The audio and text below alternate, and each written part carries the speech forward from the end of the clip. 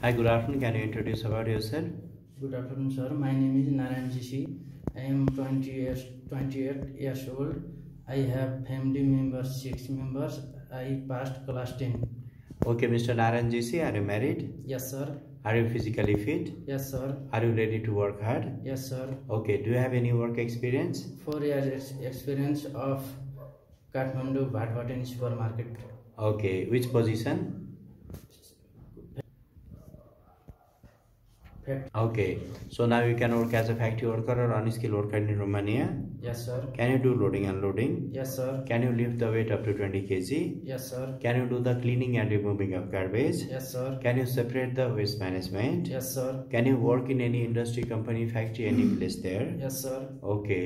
Are you comfortable working long hours duty, maybe 10 to 12 hours when required? Yes, sir. Okay. Would you like to stay there for a long time? Yes, sir. Okay.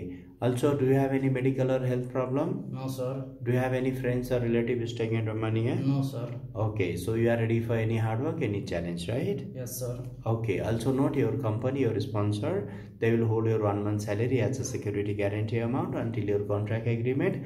Is that okay for you? Yes, sir. Okay, once you finish the contract agreement with the company or sponsor employer, they will release your amount with additional one month salary with your pending amount. Is that okay for you? Yes, sir. Okay. Also, you must need to complete two-year contract agreement with the company or sponsor. Can you do that? Yes, sir. So you'll complete the two-year contract agreement for sure. Yes, sir. Okay. Thank you. Thank you, sir.